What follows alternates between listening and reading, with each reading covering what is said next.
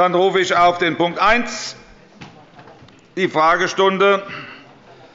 Es beginnt der Kollege Lothar Quanz, Frage 396. Lothar. Lothar, du hast das Wort. Ja.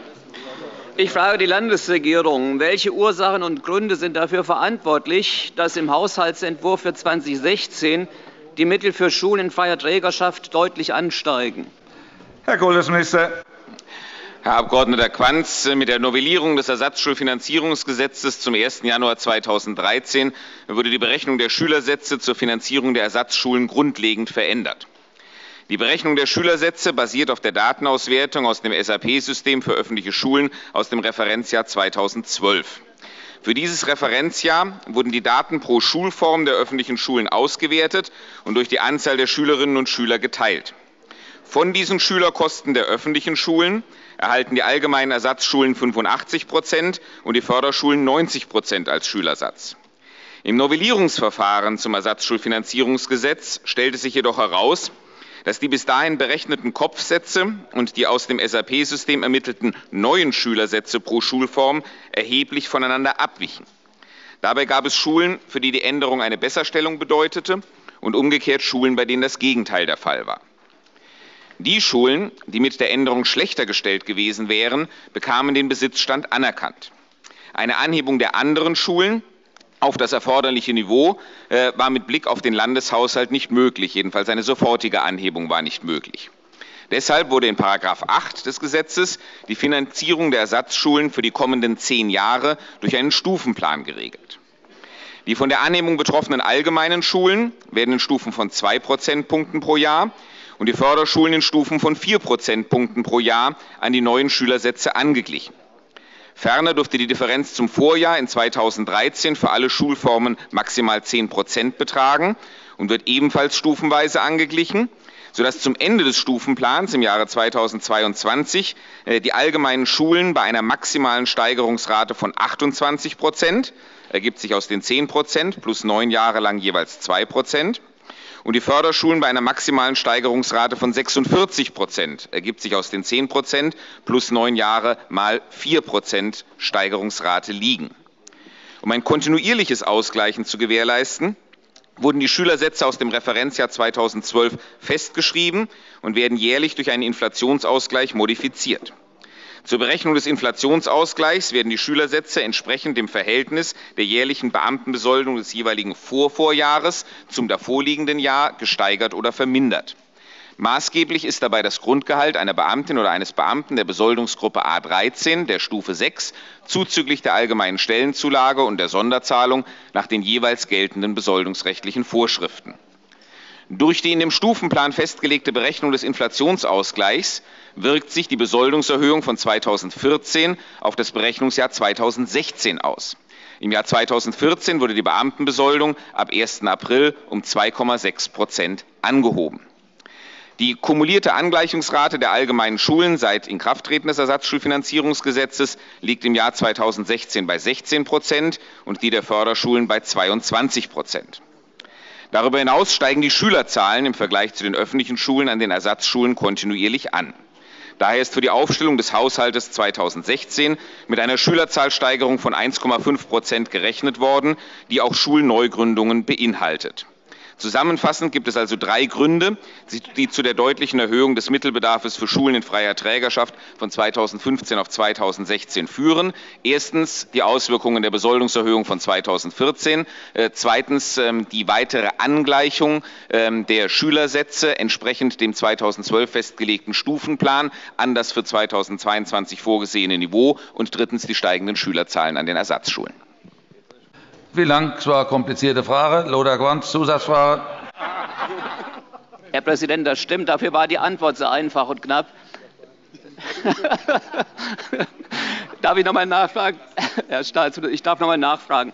Wir haben eine Steigerung von den Ist-Kosten 2014 von 274 Millionen um 30 Millionen äh, auf 304 insgesamt auf 15 und noch mal 18 Millionen zu 16.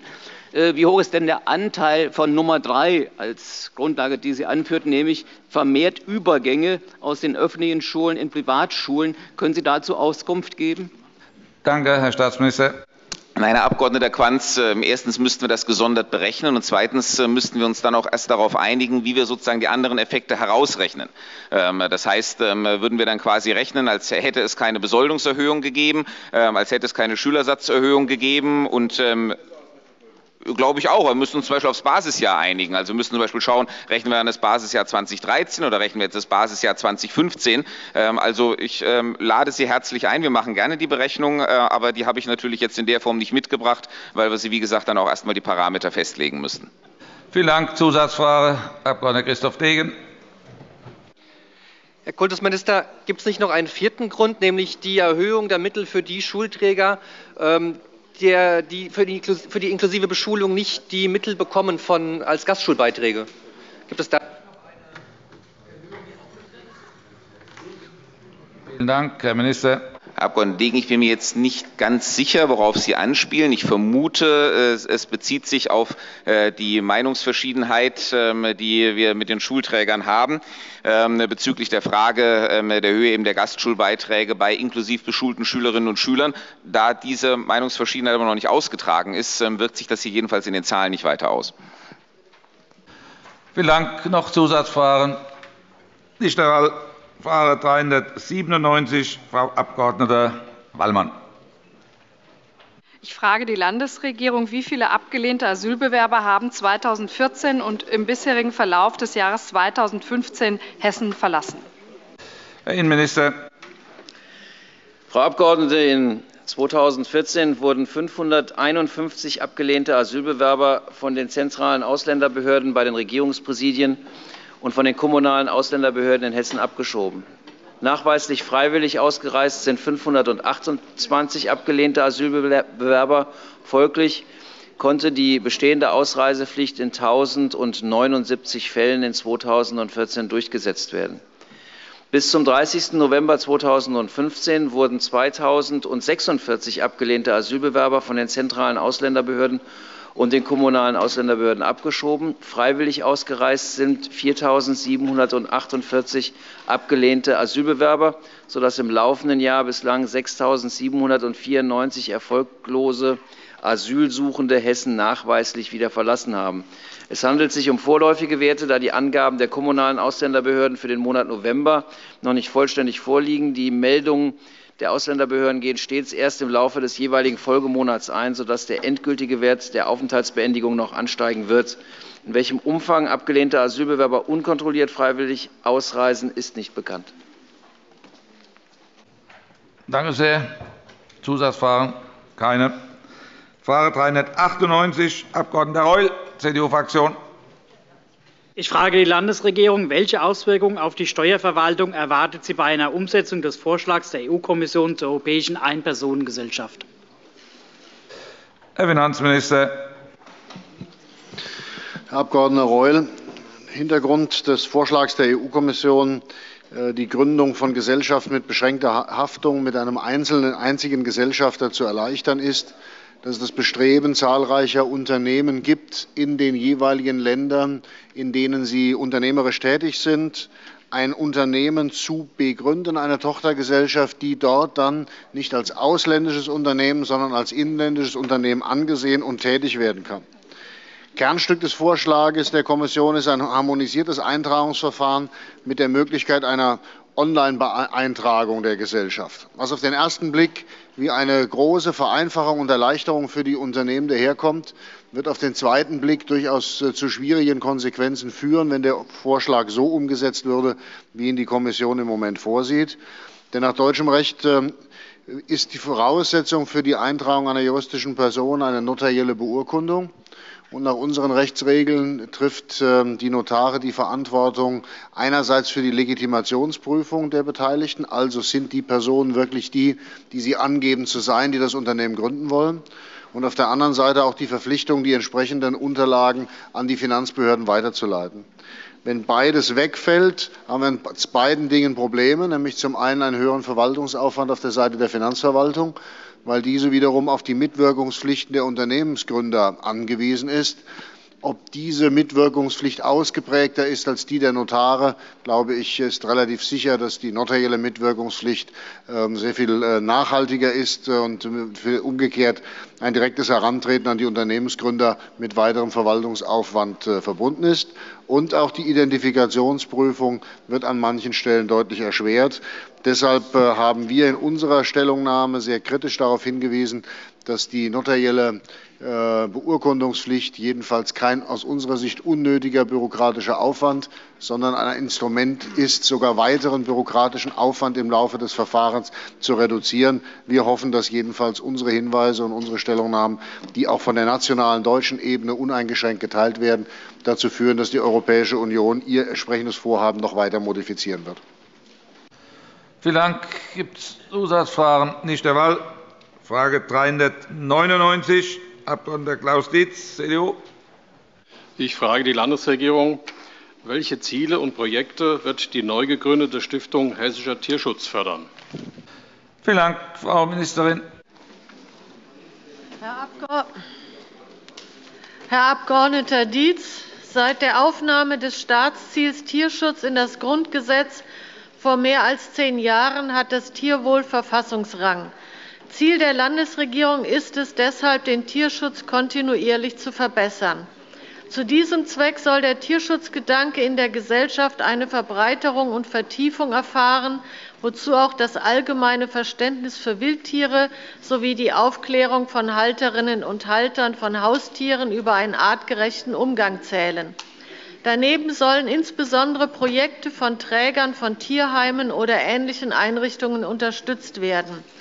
Denn Tierheime nehmen eine elementare Rolle im Tierschutz ein. Das Land Hessen unterstützte bis in die 90er Jahre des letzten Jahrhunderts bauliche Investitionen in Tierheimen.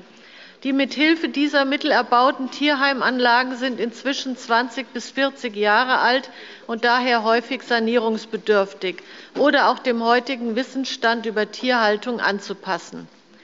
Die Stiftung Hessischer Tierschutz fördert gemäß § 2 der Stiftungssatzung materiell und ideell den Tierschutz und die Tierschutzziele in Hessen.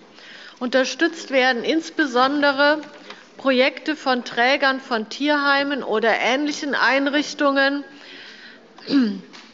das heißt äh, nach dem Tierschutzgesetz in schwierigen Finanzsituationen und die Verbreitung und Vertiefung des Tierschutzgedankens in der Gesellschaft, einschließlich des allgemeinen Verständnisses für Wildtiere und der Aufklärung der Halterinnen und Halter über den artgerechten Umgang mit Haustieren ich verweise jetzt insbesondere auf die Weihnachtszeit und dass manchmal Tiere verschenkt werden, die dann umgehend wieder in Tierheimen abgegeben werden, weil äh, diejenigen, die beschenkt werden, ähm, keinen, also nicht wissen, wie sie mit diesen Tieren umgehen sollen. Die Stiftung Hessischer Tierschutz kann hierzu selbsttätig werden oder Vorhaben Dritter fördern. Sie unterstützt aber keine Maßnahmen, die zu den Pflichtaufgaben der Landkreise oder der Gemeinden gehören. Konkretisiert werden diese Vorgaben in den Förderrichtlinien der Stiftung Hessischer Tierschutz.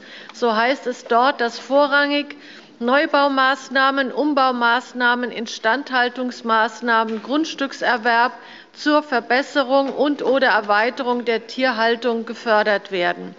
Weitere Fördermaßnahmen könnten sein Unfruchtbarmachung und Kennzeichnung von freilebenden Katzen, Zuschuss zu den Futter- oder Tierarztkosten für Tierheime und ähnliche Einrichtungen. Die Stiftung kann Förderschwerpunkte festlegen. Die ersten Anträge konnten in diesem Jahr bereits beschieden werden im Hinblick auf Sanierung und Erweiterung von Tierheimen. Vielen Dank. Gibt es Zusatzfragen? Nein, erschöpfend beantwortet. Dann 400. Abg. Kurt Wiegel, CDU. Kurt, drücke mal drauf. Okay. Ich frage die Landesregierung, welche Ziele verfolgt sie mit der Unterstützung des Naturschutzgroßprojektes Vogelsberg? Frau Ministerin. Stimmt, stimmt. Herr Abg. Wiegel, das Naturschutzgroßprojekt Vogelsberg ist eines der bedeutsamsten Vorhaben zur Umsetzung der hessischen Biodiversitätsstrategie.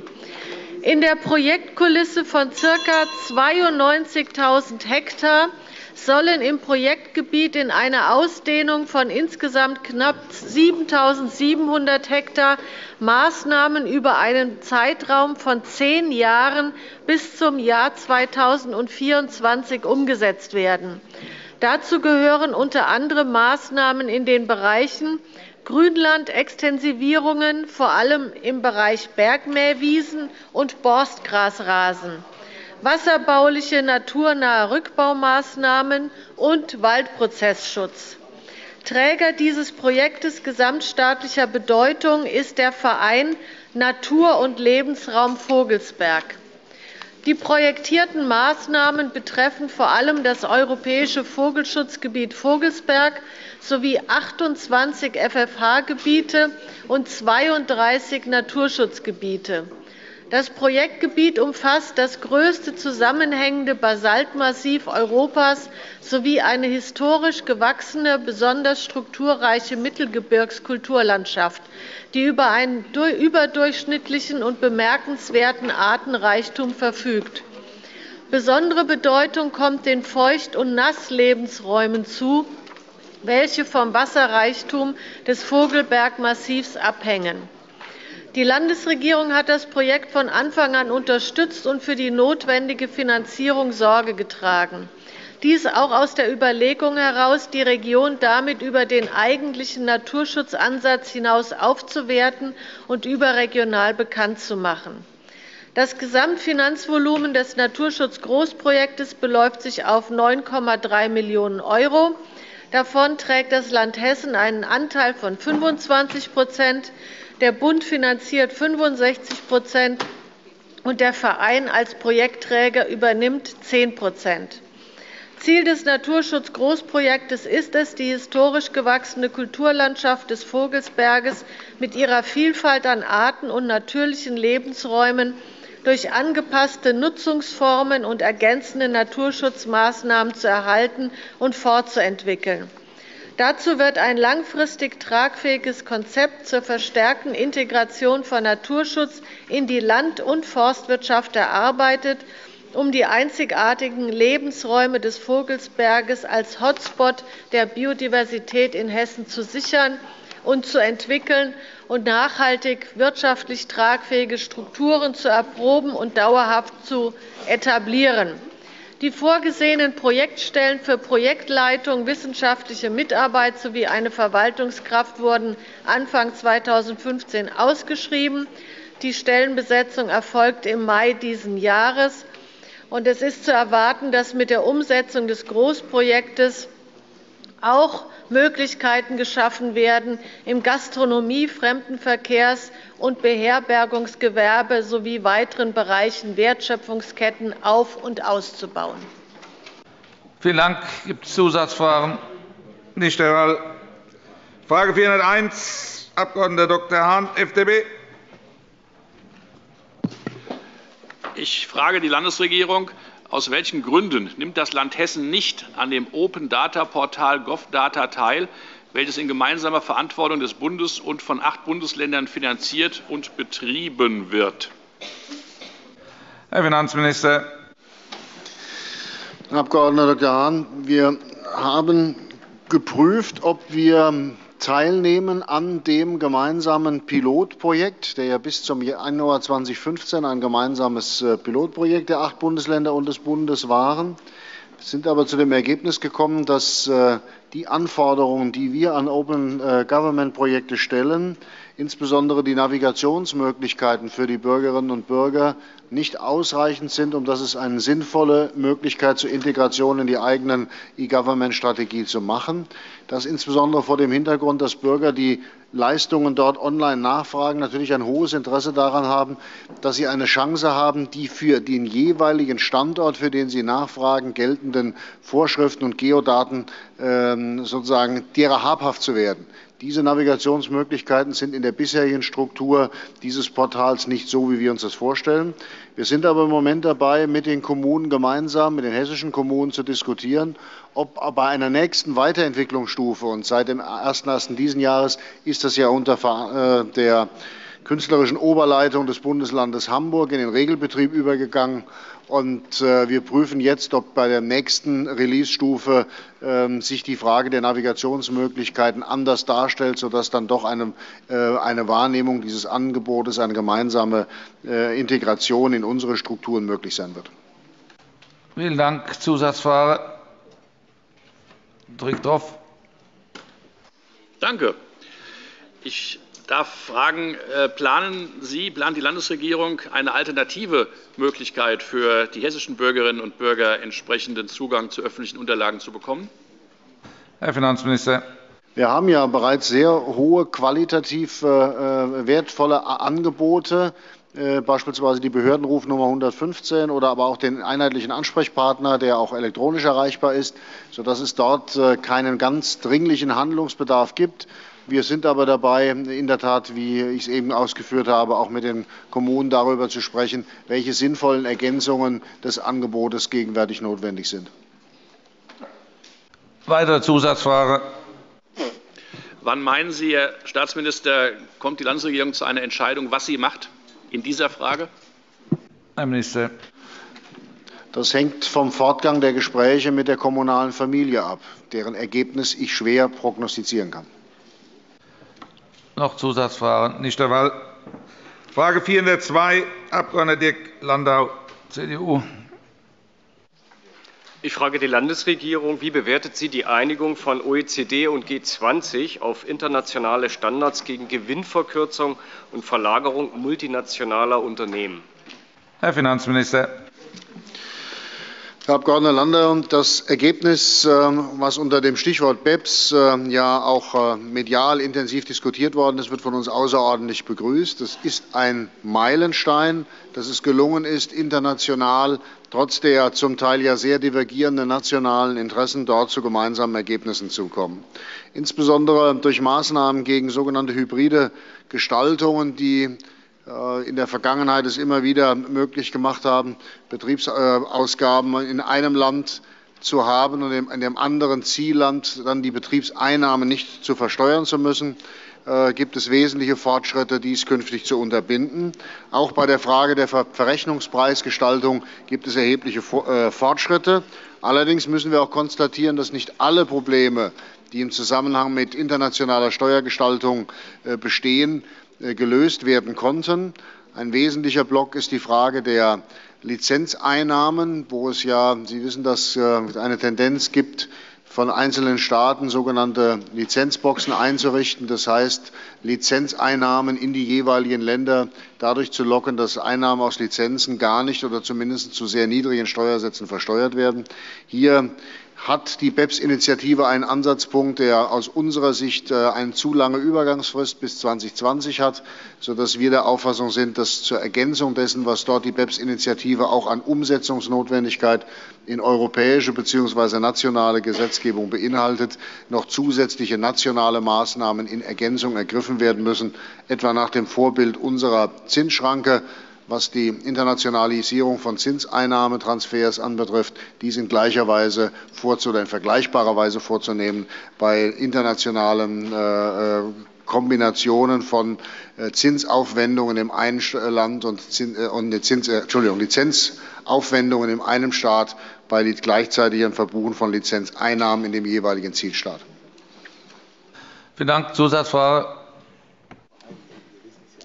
Herr Minister, eine Zusatzfrage von mir. Würden Sie es auch als eine nationale Maßnahme betrachten, wenn man beispielsweise die eben von Ihnen genannten Dividendenzahlungen äh, unter dem äh, Rechtsinstitut der nicht abziehbaren Betriebsausgaben bei uns im Inland behandeln würde und damit die Verlagerung der entsprechenden Gelder oder Gewinnanteile ins Ausland verhindern würde? Herr Finanzminister. Abg. Kummer, über Dividendeneinnahmen habe ich gar nicht gesprochen.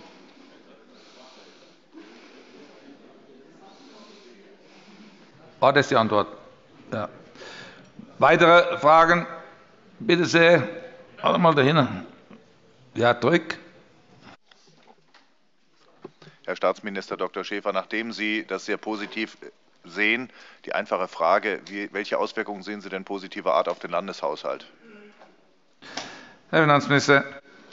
Wenn ich das in Mark, Pfennigen oder Euro und Cent beziffern könnte, dann hätte ich sicherlich einen beträchtlichen Wettbewerbsvorteil den Land zwischen den Landesfinanzverwaltungen.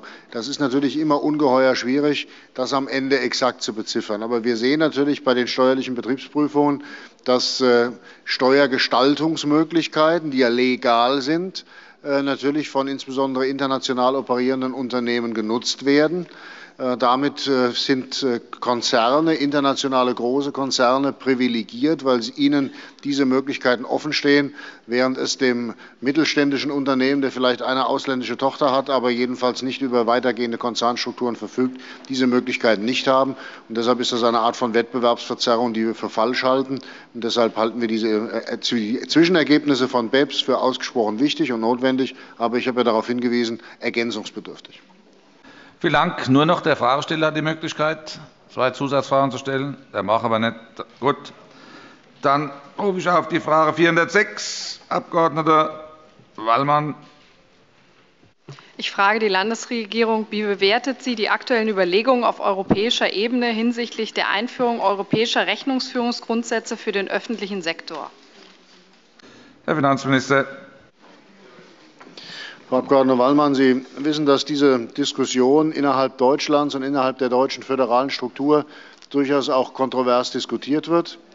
Wir haben ja noch eine sehr heterogene Struktur, was die Frage der kaufmännischen oder äh, kameralen Rechnungslegung in den jeweiligen öffentlichen Körperschaften, während die kommunale Ebene in einem weit überwiegenden Teil der Bundesländer bereits äh, kaufmännisch äh, bilanziert und bucht, ist auf der Landesebene lediglich das Bundesland Hessen und das Bundesland Hamburg. Nordrhein-Westfalen macht sich jetzt auf den Weg, äh, auf dem Wege der doppelten Buchführung unterwegs und die nationale Ebene noch vollständig kameral. Ähm, deshalb äh, aus unserer hessischen Sicht begrüßen wir die entsprechende Initiative der Europäischen Union, weil natürlich ein transparentes Rechnungslegungssystem unerlässlich ist, um Fragestellungen von Frühwarnsystemen äh, für krisenhafte äh, Ereignisse, wie wir sie in der Vergangenheit erlebt haben, unerlässlich sind. Und ich glaube, dass die Bundesrepublik Deutschland gut beraten wäre, ähm, bei all ihrer Positionierung international Transparenz bei anderen anzumahnen, bei der eigenen Transparenz der eigenen Haushaltsdaten dort auch äh, sich noch stärker positiv in den Vordergrund zu präsentieren, als das bisher der Fall war. Deshalb haben wir allen Anlass äh, davon auszugehen, dass ähm, unser System, nämlich der doppelten Buchführung, das wir eingeführt haben, flächendeckend äh, zunehmend auch zu einem Maßstab dessen sich entwickeln wird, wie andere Bundesländer auch vor dem Hintergrund der EPSAS-Initiative sich entwickeln werden. Und das äh, macht uns im Hinblick auf die vor vielen Jahren getroffene Entscheidung durchaus ein Stück zufrieden. Vielen Dank. Gibt es Zusatzfragen? Ja, bitte. Ja, gibt es bereits Überlegungen auch in zeitlicher Richtung, bis es ähm, Grundsätze zur europäischen Rechnungsführung geben sollte, bis die verabschiedet sind, beziehungsweise bis wann die vielleicht auch umgesetzt werden sollen? Herr Finanzminister. Die neu ins Amt gekommene EU-Kommission hat äh, in ihrer Maßnahmenplanung für das erste Amtsjahr der EU-Kommission zu EPSAS keine Verlautbarung äh, herausgegeben, sodass wir davon ausgehen, dass jedenfalls im kommenden Jahr eine weiterführende Initiative außer der Fortsetzung des Diskussions- und Konsultationsprozesses nicht zu, äh, nicht zu rechnen ist. Wir aber davon ausgehen, dass im Laufe der Amtszeit dieser EU-Kommission ein entsprechender Legislativvorschlag erfolgen wird. Vielen Dank. Noch weitere? Nicht der Fall. Frage 411 übernimmt der Kollege Frank-Peter Kaufmann.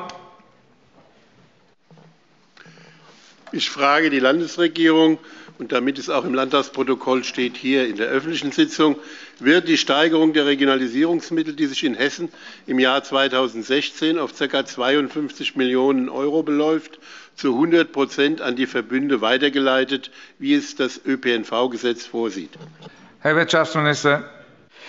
Sehr geehrter Herr Abgeordneter, die Landesregierung ist durch § 12 Absatz 1 des Hessischen ÖPNV-Gesetzes dazu verpflichtet, die Fördermittel des Bundes nach dem Regionalisierungsgesetz sowie des Landes nach dem Finanzausgleichsgesetz zu 100 an die hessischen Verkehrsverbünde auszuschütten.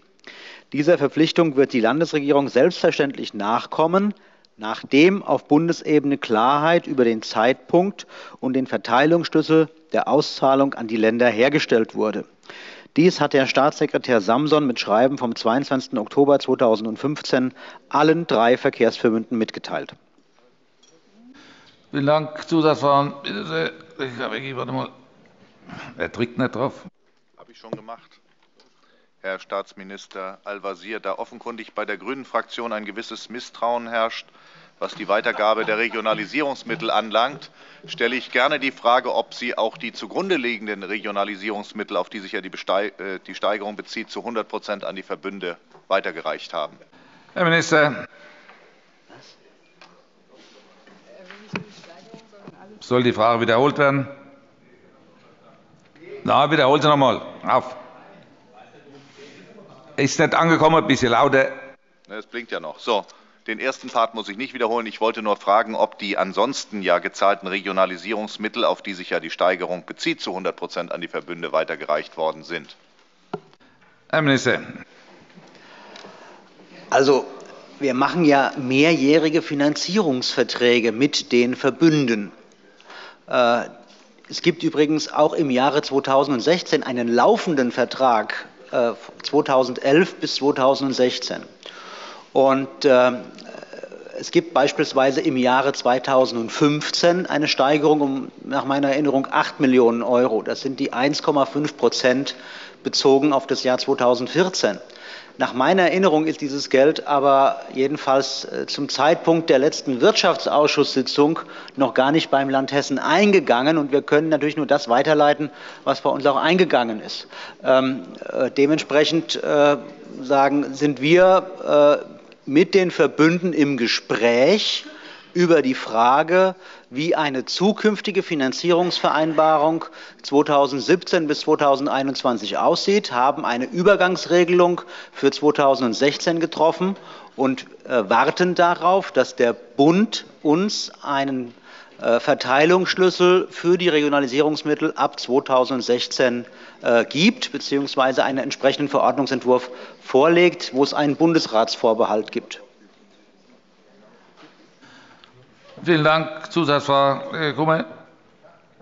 Herr Minister, zu dieser Frage eben ganz einfach noch einmal die Frage von mir. Sind denn bisher, bis einschließlich des Jahres 2015, die Regionalisierungsmittel des Bundes stets zu 100 Prozent an die Verbünde weitergeleitet worden? Herr Minister. Also es gab mal eine Zeit, da waren es minus X, aber jetzt äh, sind es wieder 100 Prozent. Vielen Dank. Zusatzfragen könnte nur noch der Fahrerstelle. Machen wir auch nicht. Dann nächster Punkt. Frage 412, Abg. Ismail Tibi, CDU. Herr Präsident, ich frage die Landesregierung, mit welchen Maßnahmen reagiert sie auf den steigenden Fachkräftebedarf im Bereich der Pflege? Herr Sozialminister. Herr, Ab Herr Abgeordneter, die Hessische Landesregierung hat bereits frühzeitig die Bedeutung der Fachkräftesicherung in der Pflege erkannt und deshalb in den Jahren 2003 bis 2006 mit dem Hessischen Pflegemonitor ein wissenschaftlich valides und repräsentatives Monitoring für den Arbeitsmarkt der Alten- und Krankenpflege entwickeln lassen und seit 2007 in den Dauerbetrieb überführt. Mit dem Hessischen Pflegemonitor verfügt die Hessische Landesregierung über ein valides und von allen relevanten Akteuren mitgetragenes Instrument zur Beobachtung des Arbeitsmarktes für Pflegekräfte, das insbesondere der Steuerung von Ausbildungskapazitäten dient. Das Land Hessen finanziert darüber hinaus seit vielen Jahren die berufsfachschulischen Anteile der Ausbildungen in den Altenpflegeberufen, und zwar sowohl in der Altenpflege als auch in der Altenpflegehilfe. So hat sie in der Vergangenheit als Bildungsgutscheine nach SGB III und SGB II durch die Agenturen für Arbeit und Jobcenter nur zweijährig förderfähig waren, auch die Schulkosten für das dritte Weiterbildungsjahr übernommen. Damit wurde sichergestellt, dass Bildungsgutscheine überhaupt ausgegeben werden durften. Nach der Erhöhung der Obergrenze landesfinanzierter Schulplätze im Jahre 2011 von 3.500 auf 4.000 Euro wurde die Deckelung der Schulplätze zum Schuljahr, dann schon nicht Euro, von 3.500 auf 4.000 Plätze wurde die Deckelung der Schulplätze zum Schuljahr 2012-2013 vollständig aufgehoben.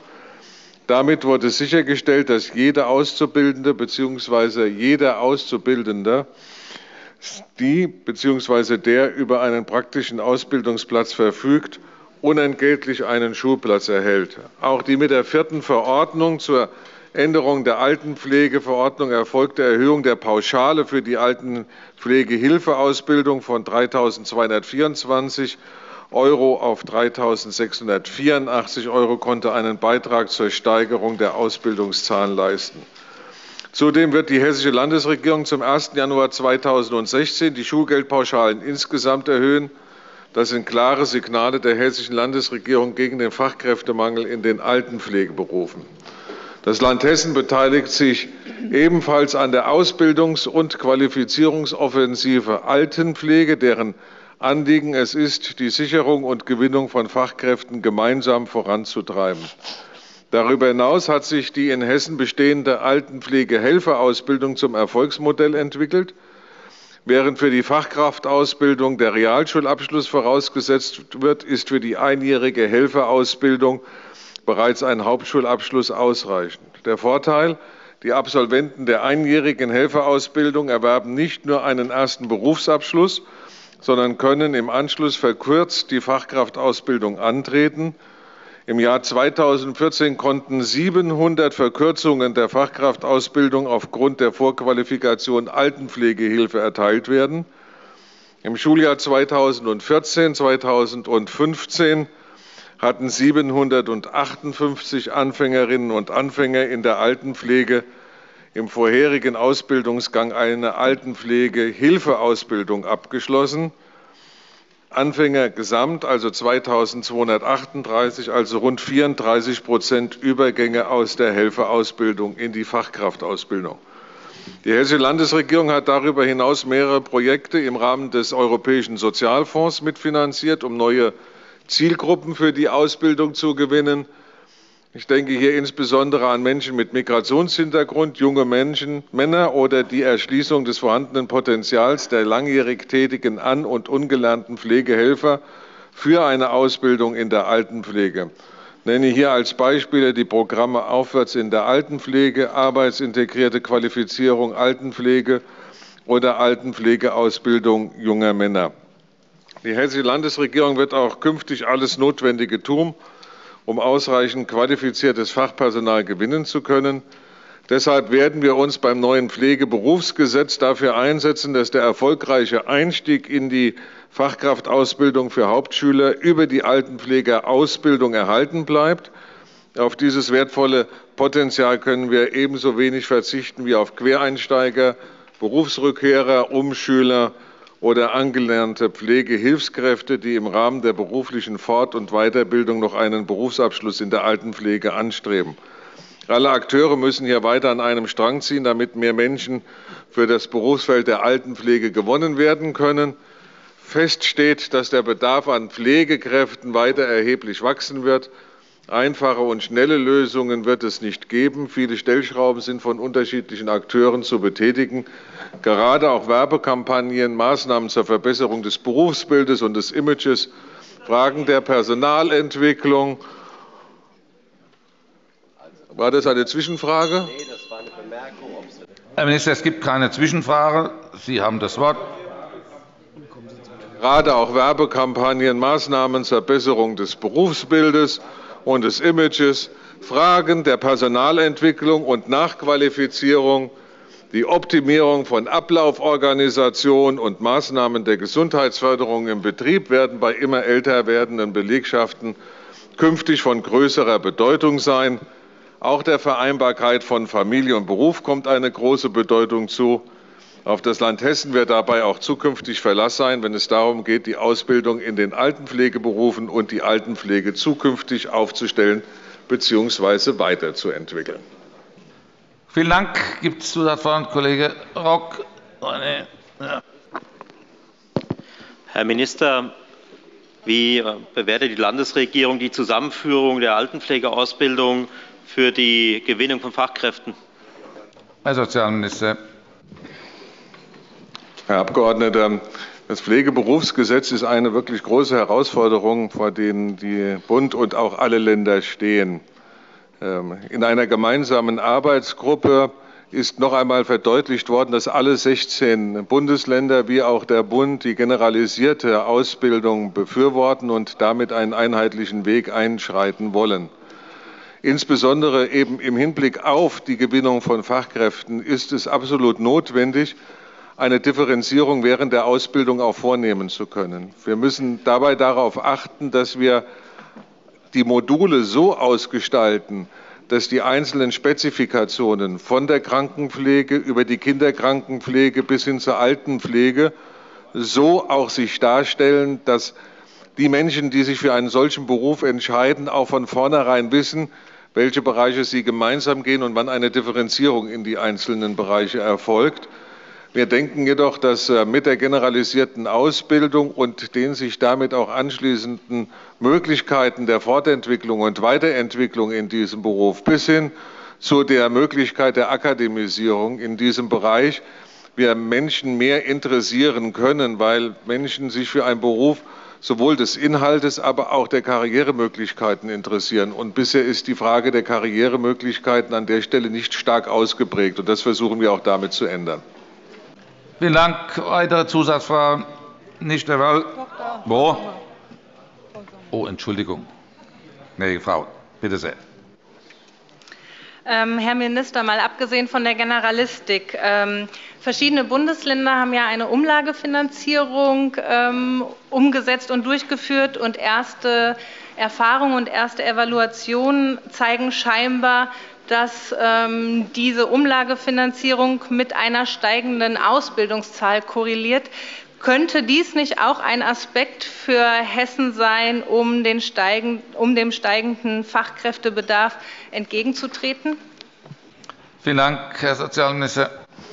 Frau Abgeordnete, Sie wissen, dass äh, die Fragestellung der Umlagefinanzierung in der Ausbildung genaue verfassungsrechtliche äh, Voraussetzungen erfüllt sein müssen. Ähm, ich beobachte mit großem Interesse in den Bundesländern, in denen das äh, eingeführt worden ist, äh, wie sich die Entwicklung dort sowohl im Hinblick auf die Ausbildungszahlen darstellt, wie auch in der Fragestellung der Anzahl der Betriebe, die noch ausbilden. Weil wir müssen ja immer damit berücksichtigen, immer dann, wenn ich in ein umlagefinanziertes System im Krankenhausbereich ist es anders, weil es im Krankenhausfinanzierungsgesetz geregelt ist. Aber jetzt in ein eigenes Aus umlagefinanziertes System hineingehe, muss ich aufpassen, dass ich nicht auf einmal in die Situation hineinkomme, dass es weniger Ausbildungsbetriebe gibt, weil man sich möglicherweise durch die Zahlung einer Umlage als befreit ansieht davon. Diese beiden Entwicklungen kann ich zum jetzigen Zeitpunkt noch nicht abschätzen, wie auch die äh, grundlegend. Ich bestehe einer Umlagefinanzierung nicht ablehnend gegenüber, wenn die rechtlichen Voraussetzungen geschaffen sind und solche Effekte, wie ich sie eben beschrieben habe, weitestgehend ausgeschaltet werden können. Wir müssen in dem Kontext allerdings natürlich auch sehen, geht diese umlagefinanzierte Ausbildung auch noch im Kontext mit der Generalistik. Äh, auch diese Frage ist noch nicht geklärt. Und ich halte es jetzt für verfrüht, über die Einführung eines Umlagesystems zu denken, wenn ich nicht die Auswirkungen im Hinblick auf die Generalistik, und das wird im Laufe dieses Jahres kommen, weiß. Deswegen bitte ich um Verständnis, dass ich da erst mal abwarte, aber ich stehe dem nicht ablehnend gegenüber. Vielen Dank. Jetzt darf nur noch der Fragesteller, wenn er möchte. Wenn er nicht möchte, kommt die nächste Frage 413, Abg. Ernst Ewald Roth, SPD-Fraktion. Ich frage die Landesregierung, wie viele Verpflichtungserklärungen nach § 68 Aufenthaltsgesetz wurden für syrische Staatsangehörige seit Veröffentlichung des Erlasses des hessischen Innenministers vom 19. September 2013 abgegeben. Herr Innenminister. Herr Abg. Roth, über die Abgabe der Verpflichtungserklärung wird landesweit keine Statistik geführt. Die Verpflichtungserklärung wurde bei der Antragstellung nach dem Hessischen Landesaufnahmeprogramm bei der jeweils zuständigen Ausländerbehörde abgegeben. Bis zum 30. November 2015 haben die deutschen Auslandsvertretungen 2.458 Visa auf der Grundlage des Hessischen Aufnahmeprogramms ausgestellt. Das ist eine Auskunft des Auswärtigen Amtes. Ähm, das heißt, für diese Personen sind Verpflichtungserklärungen abgegeben worden. Das bedeutet nicht, dass die Personen noch eingereist sind. Das ist nicht nachvollziehbar. Zusatzfrage, Kollege Ernst-Ewald Roth. Wenn ich Sie richtig verstehe, Herr Minister, gibt es wahrscheinlich dann auch keine Erfahrungen mit konkreten Verpflichtungserklärungen. Äh, werden die durchgehalten? Werden die abgebrochen? Äh, gibt es da eine Problemanzeige? Herr Innenminister. Gut, die Verpflichtungserklärungen sind, ja, sind nach meiner Einschätzung unbedingt. Also deswegen mir ist da noch nichts ähm, vorgetragen worden. Weitere Zusatzfragen? Nicht der Fall. Frage 417, Abg. Greilich, FDP. Ich frage die Landesregierung, gibt es statistische Erhebungen über Straftaten in der hessischen Erstaufnahmeeinrichtung HJE und deren Außenstellen? Herr Innenminister. Herr Abg. Greilich, Grundlage für valide Aussagen über das Straftatengeschehen ist stets die jährliche erscheinende polizeiliche Kriminalstatistik. Diese erlaubt bisher Aussagen über die registrierten Straftaten bis zum Jahr 2014 in den zu diesem Zeitpunkt bestehenden hessischen Erstaufnahmeeinrichtungen in Gießen. Für das Jahr 2015 liegen solche Zahlen schon aufgrund der Jährlichkeit der PKS noch nicht vor, sondern erst mit Veröffentlichung der PKS für das Jahr 2015. Vielen Dank. Zusatzfragen, bitte, Kollege Greilich. Vielen Dank, Herr Minister. Können Sie mir denn sagen, welche Erkenntnisse der Landesregierung über die Zahl von Straftaten in der hessischen Erstaufnahmeeinrichtung im Jahr 2015 vorliegen, unabhängig von der PKS? Herr Innenminister. Herr Abgeordneter, wir werden selbstverständlich die PKS am Anfang des kommenden Jahres entsprechend veröffentlichen. Da sind dann die Zahlen auch so valide und äh, zusammengestellt, dass äh, wir Ihnen auch entsprechende Auskunft geben können. Ich will Sie aber darauf hinweisen, dass es ein Lagebild des Bundes gibt in diesem Zusammenhang. Und ähm, dort hat der Bundesinnenminister auf Abfrage einiger Länder, sodass das äh, ähm, über das Land Hessen hinausgeht, aber nicht vollständig die Bundes Republik ähm, abbildet, laut ähm, Bundesinnenministerium Folgendes erklärt. Um Gerüchten über den Anstieg von Straftaten den Boden zu entziehen und belastbare Informationen zu erhalten, habe ich Anfang Oktober das Bundeskriminalamt gebeten, zusammen mit den Ländern schnellstmöglich Daten für ein regelmäßiges Lagebild ähm, zu erheben. Dieses Lagebild hat bisher ergeben, dass im Vergleich zur signifikant ansteigenden Kurve der monatlich kumulierten Gesamtzahl der registrierten Asylsuchenden sich demgegenüber ein gleichförmiger Anstieg der monatlich kumulierten Gesamtzahl erfasster Fälle im Zusammenhang mit Straftaten durch Zuwanderung abbildet. Das heißt, äh, dass die ähm, ähm, eher exponentiell steigende Kurve ähm, der Asylsuchenden mit einer eher gleichförmig steigenden Anzahl von Straftaten korreliert und insofern, ähm, insofern keine besonderen Auffälligkeiten ähm, entsprechend ermittelt wurden. Vielen Dank. Weitere Zusatzfrage, Kollege Greilich. Danke für die Hinweise über die allgemeine Kriminalitätsentwicklung. Aber ich möchte schon die Frage stellen, wird denn dann wenigstens die PKS Auskunft auf die von mir gestellte Frage geben, nämlich nicht, welche Straftaten aus dem Kreis von Ausländern oder Asylbewerbern begangen werden, sondern wie viele Straftaten in der hessischen Erstaufnahmeeinrichtung und deren Außenstellen festgestellt worden sind. Herr Innenminister. Die PKS, Herr Abg. Greilich, wird die Straftaten ähm, wird, ähm, wird Aussagen zum ähm, äh, für das Jahr 2015 liegen die Zahlen noch nicht vor, habe ich Ihnen eben vorgetragen. Und die PKS wird entsprechende Aussagen über die registrierten Straftaten ähm, in den, im Zusammenhang mit der hessischen Erstaufnahmeeinrichtung in Gießen entsprechend beinhalten. Vielen Dank. Zusatzfrage, Kollege Dr. Wilken. Herr Staatsminister, Sie haben gerade die Formulierung gewählt, äh, Straftaten im Zusammenhang äh, mit Geflüchteten. Äh, das erinnert an die Berichterstattung von heute, also Straftaten gegen Geflüchtete bzw. gegen Einrichtungen. Können Sie den Bundestrend für Hessen bestätigen, dass eine drastische Zunahme von Angriffen auf Asylbewerberheime und äh, andere Einrichtungen auch in Hessen da ist? Herr Innenminister. Ich kann äh, drastische Zunahmen kann ich nach meiner Erkenntnis nicht bestätigen. Es gibt sicherlich ähm, entsprechende Straftaten gegen diese Einrichtungen, auch zunehmende Zahlen, aber dass wir in Hessen da irgendwie eine besondere, besonders sozusagen auffallen würden, kann ich nicht bestätigen. Noch Zusatzfragen? Nicht der Fall. Frage 418, Abg. Klaus Dietz.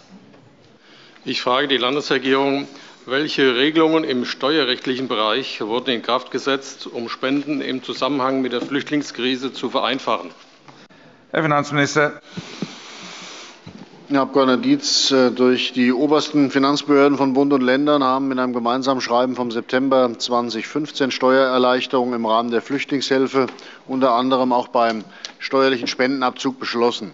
Das gilt insbesondere für die vereinfachten Nachweis für äh, entsprechende Spendentätigkeiten, in dem der Nachweis des Zahlungsbelegs als ausreichend angesehen werden. Es sind aber auch äh, weitere Möglichkeiten geschaffen worden, dass entsprechende Vereine, die sich in diesem Bereich engagieren, die entsprechenden Aufwendungen steuerlich geltend machen können. Vielen Dank. Zusatzfragen? Nicht der Fall. Frage 419, Abg. René Rock, FDP. Draufdrücken. Ich frage die Landesregierung, werden unbegleitete minderjährige Flüchtlinge, heute UMAs, die sich bereits in INTEA-Klassen befinden, umverteilt und wenn ja, warum? Herr Sozialminister. Herr Abgeordneter, ja, unbegleitete minderjährige Ausländerinnen und Ausländer werden bundesweit und in Hessen verteilt. Am 1. November 2015 ist das Gesetz zur Verbesserung der Unterbringung, Versorgung und Betreuung ausländischer Kinder und Jugendlicher in Kraft getreten. Das Gesetz regelt die Verteilung von unbegleiteten minderjährigen Ausländern, die sich am Kindeswohl und dem besonderen Schutzbedürfnis ausrichtet. Aus diesen Gründen und um eine gute Integration in den Kommunen zu ermöglichen, werden die jungen Menschen unmittelbar nach der vorläufigen Inobhutnahme an die zur Aufnahme verpflichtenden Kommune unter Umständen auch an andere Bundesländer weitergeleitet. Zusatzfragen? Rock. Wer drückt nicht drauf? Herr Minister, sind denn auch Flüchtlinge, die direkt äh, schon in Integrationsmaßnahmen wie INTEA untergebracht waren, auch umverteilt worden? Herr Minister. Herr Abgeordneter, die Frage hatte ich mit Ja beantwortet. Zusatzfragen? Nicht der Fall. Frage 420, Abg. Lothar Quanz. Herr Präsident, mit Ihrer Genehmigung. Die Antwort der Landesregierung ist vor kurzem eingegangen. Deshalb würde ich gerne in der Fragestellung das grammatikalische äh, Zeitform äh, etwas verändern. Die Frage lautet dann, ich frage die Landesregierung, aus welchen Gründen konnte die im April eingebrachte Große Anfrage betreffend Unterrichtssituation und Lehrkräftebedarf in Hessen nicht fristgerecht beantwortet werden? Vielen Dank. Darauf kann der Kultusminister antworten. Bitte. Herr Abg. Quanz, das Hessische Kultusministerium ist immer bestrebt, qualitativ hochwertige Antworten auf die gestellten Anfragen zu liefern. Qualitativ, qualitativ hochwertige Antworten. Das hat jetzt zunächst einmal mit der Zeitschiene noch nichts zu tun. Da geht es um die Qualität. Und ich würde auch sagen, Qualität geht in diesem Falle vor Schnelligkeit, also auch Gründlichkeit vor Schnelligkeit. Wir wollen die Abgeordneten und die Öffentlichkeit möglichst umfassend und bestmöglich informieren. Aufgrund der Masse der gestellten Anfragen, wir haben allein im Kultusministerium eine deutliche dreistellige Anzahl in diesem Jahr gehabt, und der damit einhergehenden Arbeitsbelastung der Fachreferate, die überwiegend die Beantwortung der Fragen vornehmen, kommt es leider immer wieder vor, dass die Beantwortung der parlamentarischen Initiativen mehr Zeit in Anspruch nimmt als von der Regelfrist der Geschäftsordnung vorgesehen. Genau aus diesem Grund sieht die Geschäftsordnung auch die Möglichkeit vor, die Abgeordneten über eine etwaige längere Bearbeitungsdauer zu informieren. Jetzt konkret zu der Großen Anfrage. Die Große Anfrage Drucksache 19 1874 beinhaltete einen Fragenkatalog von 87 Fragen mit zum Teil mehreren Unterpunkten. Und dabei handelte es sich auch um umfangreiche und inhaltlich komplexe Fragestellungen. Zu der Beantwortung, weil sehr viele dieser Fragen insbesondere auf quantitatives Datenmaterial zielten, waren wir Datenmaterialien von über 2.000 hessischen Schulen und den über 60.000 hessischen Lehrkräften auszuwerten. Das erforderte, weil diese Fragen auch nicht so beschaffen waren, dass man sie durch einen Knopfdruck in einem Computerprogramm hätte beantworten können, vielfach die Beteiligung nachgeordneter Bereiche sowie Abstimmungsarbeit mit verschiedenen Ministerien innerhalb der Landesverwaltung. Das war der Grund, warum das erste Mal um eine Fristverlängerung gebeten wurde. Und dann ähm, gab es eine zweite Bitte um eine Fristverlängerung, die schlichtweg darauf ähm, äh, zurückzuführen war, ähm, dass wir die Zahlen auch liefern wollten in der möglichst aktuellen Form, das heißt abgestimmt auf das neue Schuljahr 2015-16. Und auch diese Daten dann wieder zu erheben, neu einzuarbeiten, sodass Sie eben wirklich eine qualitativ hochwertige Antwort bekommen, das bedurfte der Zeit, äh, die wir ankündigungsgemäß dann bis zum 14. Dezember in Anspruch genommen haben. Zusatzfrage Abg. Florian Rentsch.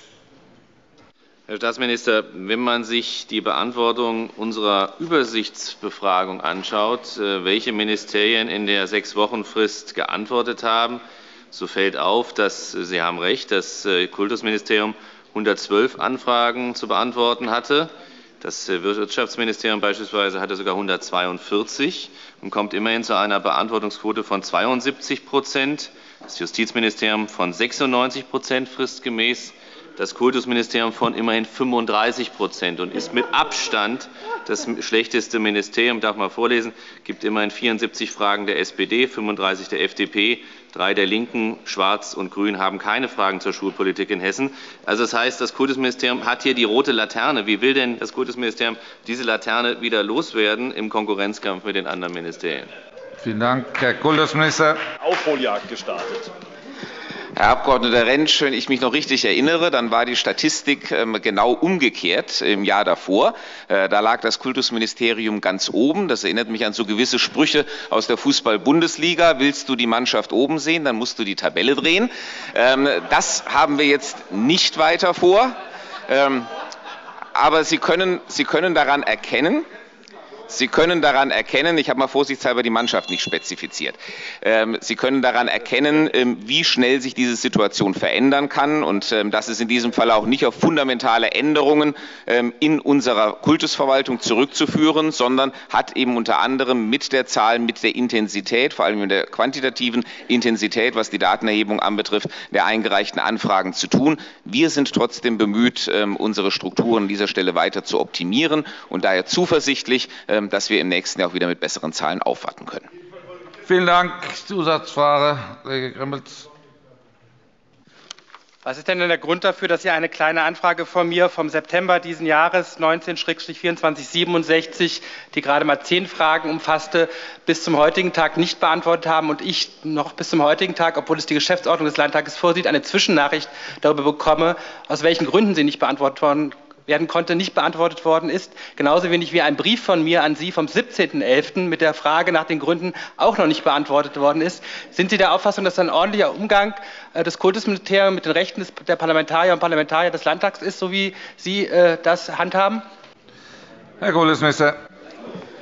Also zunächst einmal bin ich der Auffassung, ähm, dass man vielleicht ähm, an der Stelle berücksichtigen sollte, dass exakt diese Frage als Nummer 422 heute in der Fragestunde ähm, auf der Tagesordnung steht. Ich meine, ich stelle es dem, ich stelle es ich stelle es dem Präsidenten anheim, dass wir die jetzt vorziehen. Dann gebe ich gerne auch auf diese Frage Antwort. Die ziehen wir nicht vor. Nein, nein. Hier bleiben wir bei der Ordnung.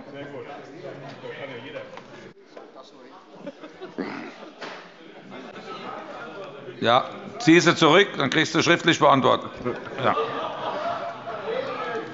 Kollege Rentsch, tut mir leid, zwei, zwischen zwei Zusatzfragen sind gestellt. Geht nicht mehr. Eine noch, dann ist Feierabend. Frage 421, Kollege Gremmels.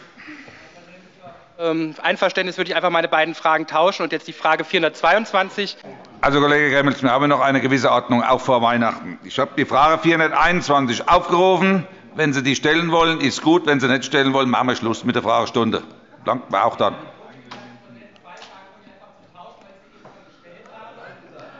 Also, Kollege Gremmels, ich bitte Sie jetzt noch einmal ganz friedlich. Die Frage 421 ist aufgerufen.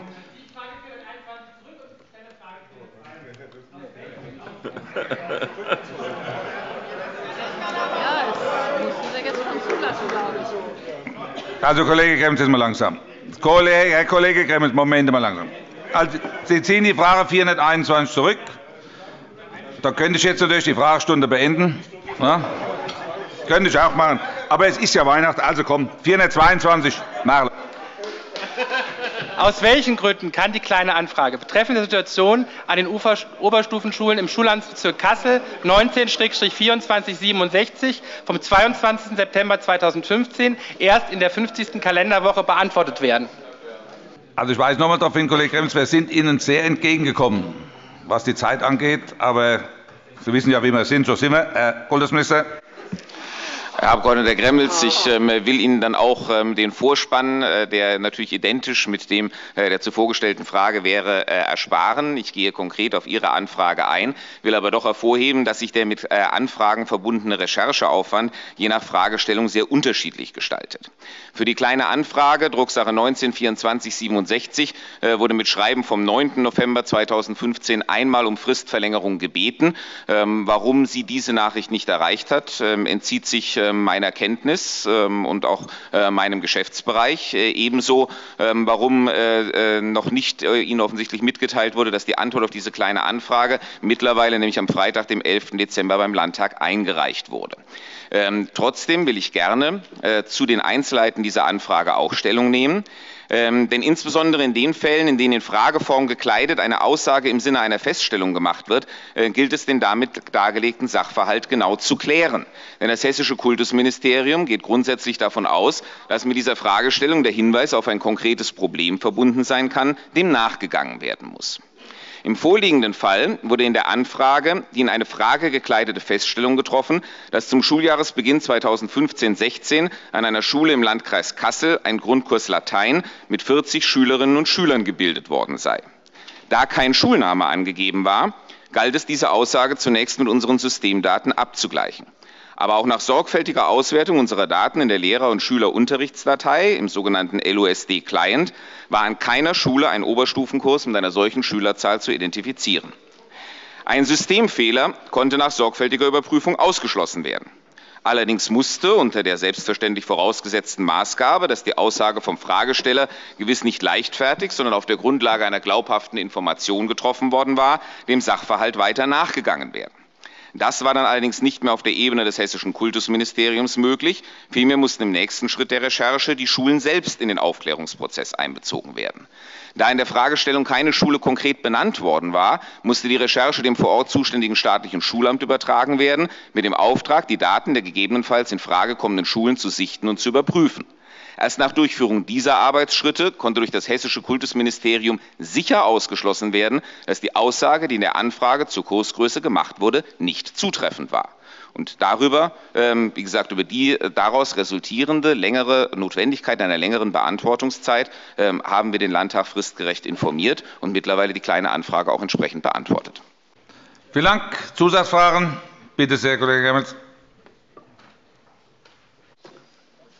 Ähm, Herr Präsident, vielen Dank. Ähm, ich möchte sagen, die erste Zwischennachricht äh, ist eingegangen, allerdings da wurde die zweite Frist ja auch versäumt und da gab es keine Zwischennachricht und auch mein Brief vom 17.11.2015 ist nicht beantwortet worden äh, und mir liegt bis zum heutigen Tag keine Antwort vor, obwohl steht, dass bis zur 50. Kalenderwoche geantwortet Wollen Sie jetzt fragen, stimmt das? Oder Sie müssen eine Frage stellen.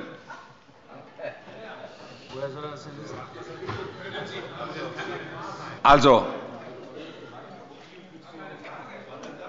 Es war keine Frage. Ja, deshalb gebe ich Herrn Minister gar nicht das Wort zur Antwort. Ja, was gibt es denn da zu meckern? Ist alles klar. Wenn es keine Frage ist, gibt es auch keine Antwort. Fertig.